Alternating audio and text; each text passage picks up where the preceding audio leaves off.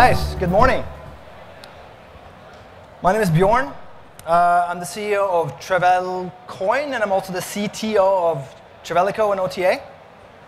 Today we're going to talk about blockchain, uh, and more importantly, we're going to be talking about how that applies to the travel industry. So, this is the agenda.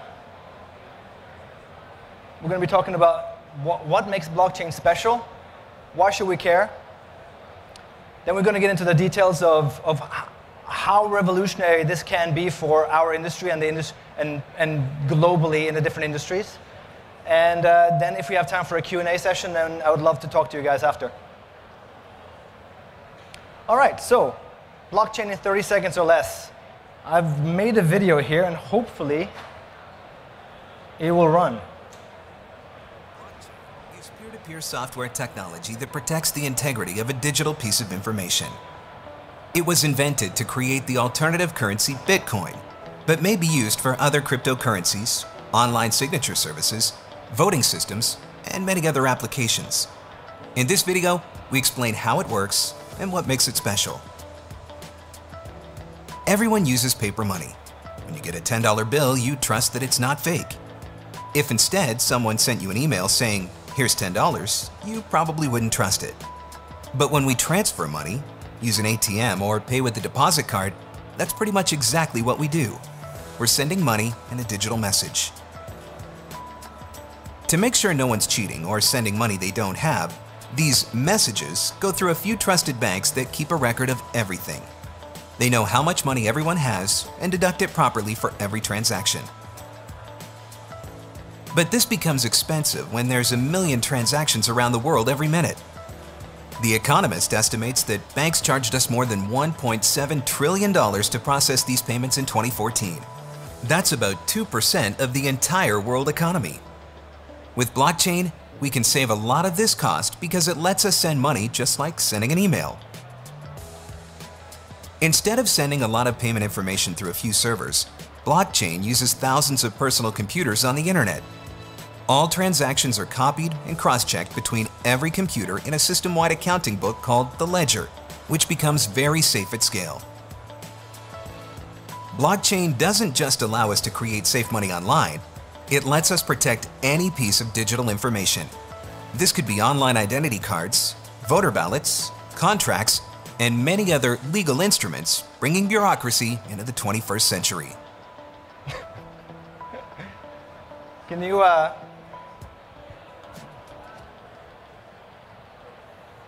allow is fine. All right. Next slide.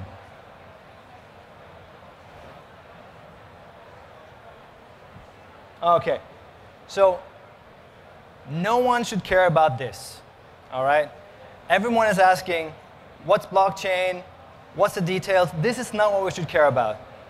It's like asking, can electricity help my business? We don't care about electricity. This doesn't matter. What matters is the key point of blockchain is we don't need banks anymore. We literally we don't need banks anymore. We don't need the middleman. We don't need someone to say one dollar went from this bank account to that bank account, and that makes things very, very interesting. We also don't care about this. Yes, blockchain is a de decentralized system. It's not a centralized system such as a bank, but as a, as a travel business, we don't really care. Yes, it's decentralized. Keep that in the back of your mind. Not important. The most important part, the interesting part is how can it really change travel? So let's forget the word blockchain for now, even though it's the name of the title of the, of the presentation, but let's forget that. It's not that important. Also not important. This we can all relate to, all right? How do we move money from one location to another, all right? And right now, there's so many different ways of making payments. Credit card being the, the number one, uh, payment companies such as WeChat, number two, but they all use payment channels that we've already are very familiar with. And they all end up with banks, and the banks are making a lot of money. And there's also bottlenecks for innovation that's happening there. You, you cannot move forward because banks are controlling how the money gets moved. Now, when you have a way to create money yourself, and this is really what we're talking about here, I'd like to call that money as a service. So let's say that every one of you, you have the chance of creating your own currency, right? And that's something as me and a company when we were starting to create Travelkoin is, okay, if I can create my own dollar and I can put, I can try and make the industry, solve industry problems, how would I do that? Basically, you, you have money and you're embedding smarts, intelligence into it. How would you do that? So with money as a service, you control printing, you control the distribution, you control conversion, the valuation, the governance, how they handle it, and also what intelligence goes into the currency, right? That used to be the domain of countries and banks.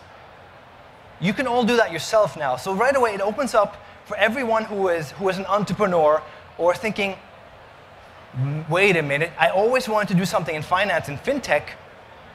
This is for you, right? This is something that becomes very, very interesting. It used to be very, very few players had access to this. And if you were playing in this area of fintech, you were always connected with banks and governments. Now it changes a little bit, okay? So I sat down with my partner Martin over here, and we, we thought, okay, how can we solve industry pain points? And there are other companies in this industry that are also trying to solve different kind of pain points for travel specifically. Uh, Martin and I have been in the business for quite a while, and there's three major pain points in travel.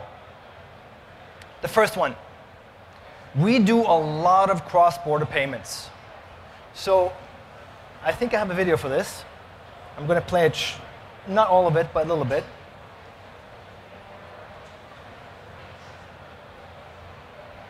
Video, go. Is there to press play? Louis is from Canada. He's currently in Thailand and he's looking for his next trip on traveleco.com. He's booking a flight ticket from Bangkok to Bali and a hotel stay with his credit card. Because his card is linked to his Canadian bank account, that's where the money's journey starts. The money is going to Singapore, where Traveleco.com is based. However, the ticket was purchased in Thailand. Traveleco.com needs to remit the money back to the Thai PSP from there. Because he's flying with a Dubai based carrier, the money moves again. Furthermore, that airline needs to pay fees to the Bali airport, so yet another payment happens. For his hotel room, Traveleco.com will need to invoice the hotel for its commission, and the hotel will have to pay us directly or via a commission aggregator by bank transfer.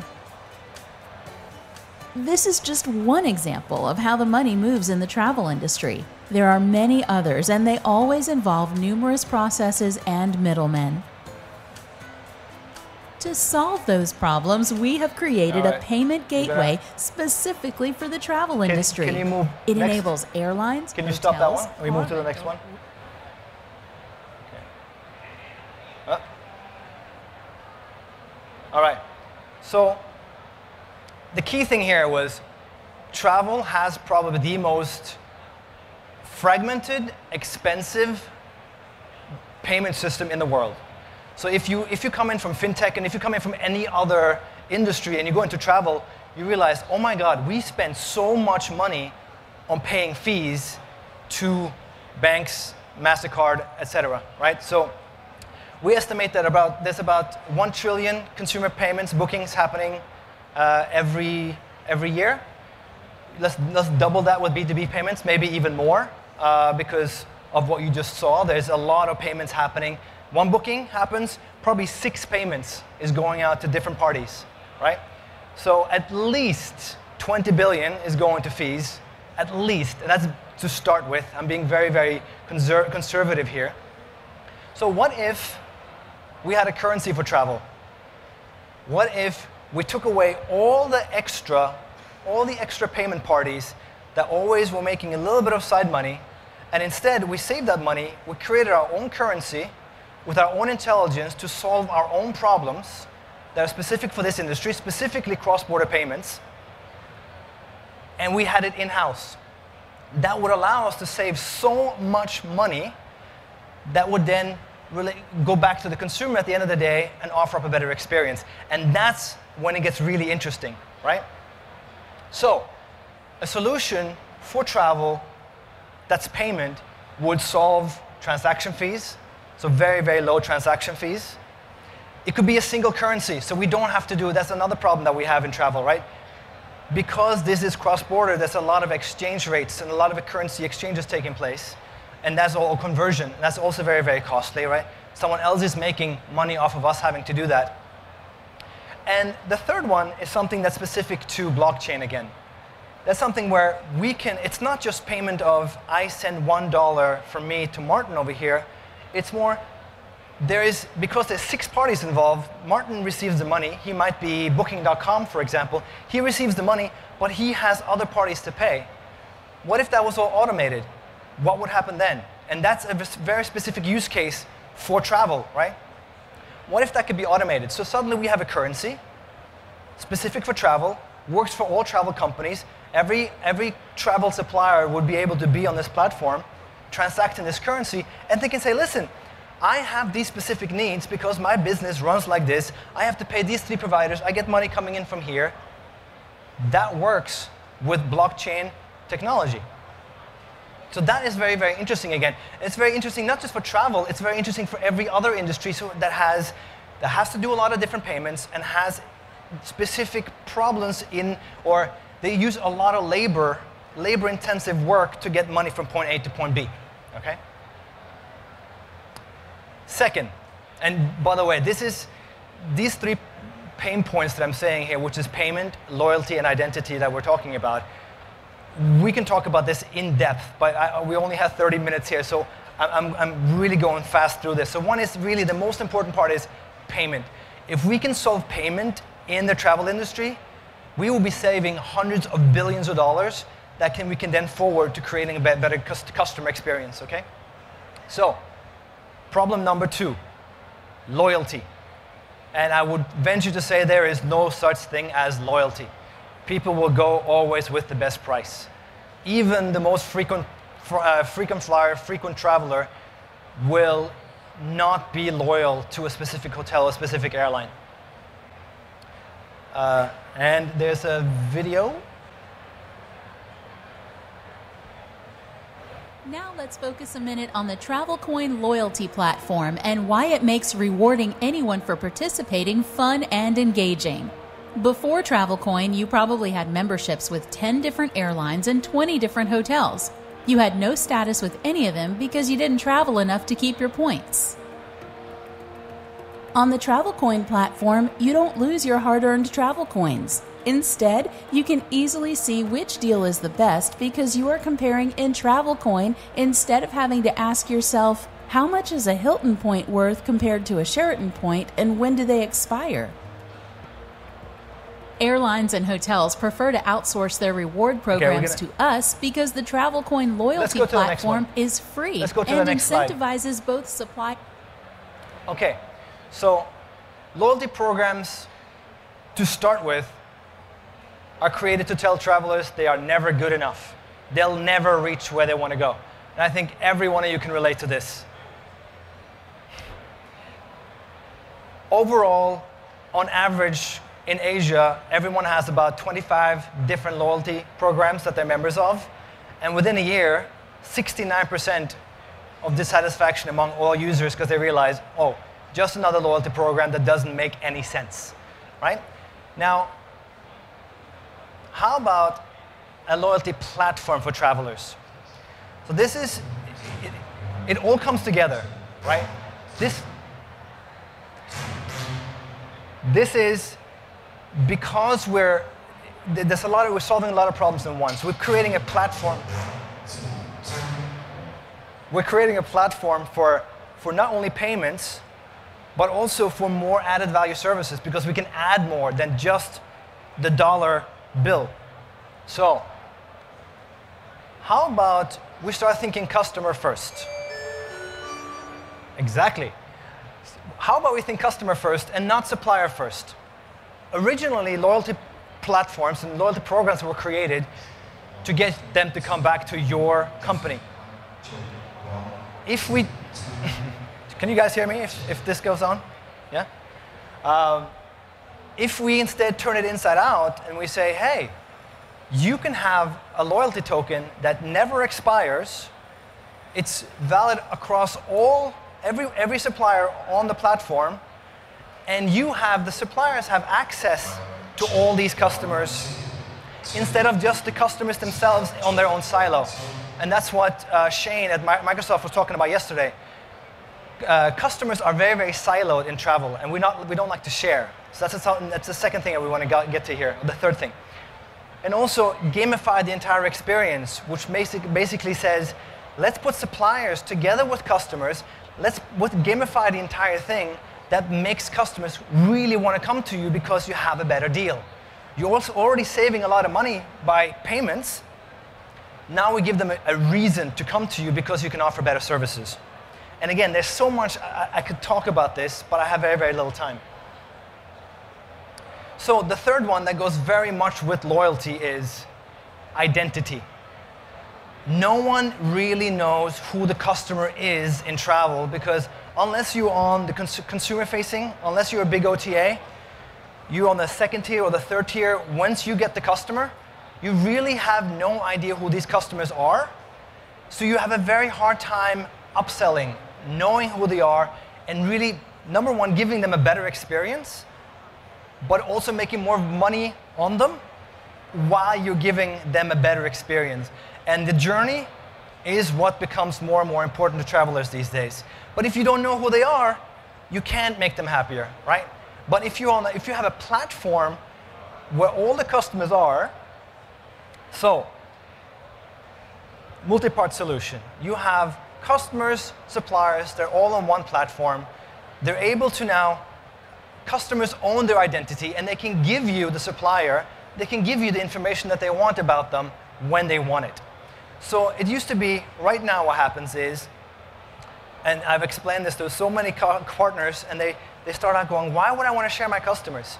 You have your silos of customers that you share, that you hold on to for a very, very long time. So you have 100 loyal customers, you're a tour operator, you're a DMC, you don't like to share. These are my customers. This is my lifeblood. What if you had a million of them? And the customer got to say, now is the time for you to give me a deal. So instead of having the middleman, and right now the most, most valuable, valuable companies in travel are OTAs. But again, they're actually middlemen, right? They're serving you certain products that you as suppliers own, right? What if you had a platform that said, okay, you have a million customers, 10,000 of them are flying to Singapore in a week, and they're letting you all know about it, and you have the way of saying, hey, I can give you a deal based on your preferences. I know you like to stay at this type of hotel. I know you like, you, you come in with your family. You have a child, five years old. Our hotel has daycare, favorite restaurant food, so on and so on. Becomes very customized, customizable. The journey becomes very personal, right? You change, you remove middlemen, and you, you put product owners closer to customers, and you give them a way to create a better journey. And that is what this can do. So, I'm not, again, I'm not saying blockchain solves this. Blockchain can solve payment in a transparent way, but if you mix blockchain with a platform that puts this all together into one, you have something in travel that can be very, very interesting. Uh, there's some new marketing models here. If you're, if, you're market, if you're a marketer, for example, can you imagine if you suddenly have a platform with all these users, customers control it, but you can, for example, connect now all hotels, all restaurants, all entertainment onto this platform. You go out there and say, hey, bar, restaurant, excuse me, bar, restaurant, hotel, whatever, we will connect you in a way that offers the best conversion for your property. There's so much that can be done here, but it starts with platform and it starts with payment and intelligence. All right, that was quick, dirty, solving payments, solving loyalty, and finally solving identity on one platform.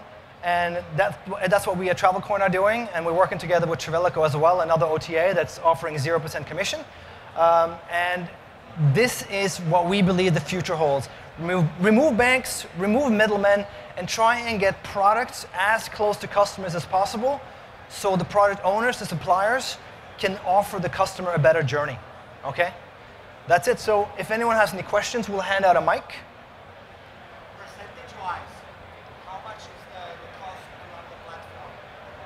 Uh, if you pay through PayPal, it's 3%. So percentage-wise, how, how expensive is to, to run the platform? With PayPal, you have 3%. With credit card, you have 2% or whatever. How much is the... Very, very good question. So uh, this is Michael, by the way. He asked a very, very good question. And one of the reasons that when you run on, on a platform, you also run at scale. And when you have your own payment gateway, you also control the fees. So we can also keep it very, very low for very specific reasons. And what we thought of is, if you have a good platform and you want to really encourage trade between customer and supplier, we said, well, how about we create, and this might be a little bit difficult to explain, but how about we make it so that if customers earn loyalty tokens and they can give suppliers these loyalty tokens in exchange for better services such as free massage, champagne on arrival, free transportation to and from the hotel, etc., and they can use their loyalty tokens for that, how about the platform can also take that loyalty token as payment for their services? So instead of us charging 2% commission for whatever, however way you choose to transaction the service, how about we say, well, you as a supplier, you just got one, identi- uh, one loyalty token from your customer. How about you give us that instead?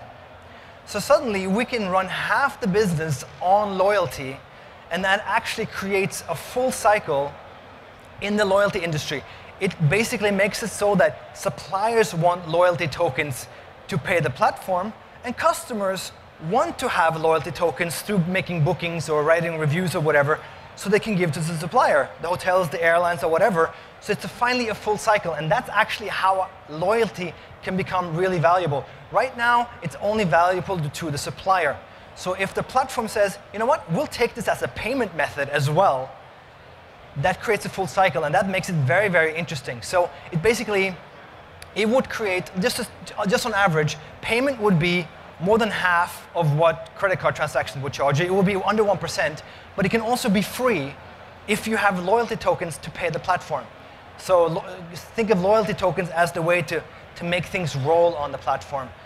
It all, but it becomes good citizenry, right? So you have, you're, you're a good supplier, you offer good services, customers come to you, they want your services, they pay you in loyalty tokens, and it's a full cycle. Does everyone understand that? It's suddenly, it's a loyalty token that makes sense, right? Globally for everyone. Anyone else? All right. I think we're five minutes early, so thank you, everyone.